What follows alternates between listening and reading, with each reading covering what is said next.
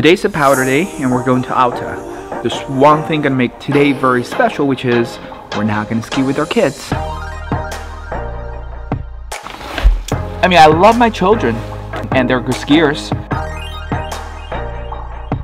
But on powder they're kind of slow and they get stuck and sometimes they get into trouble.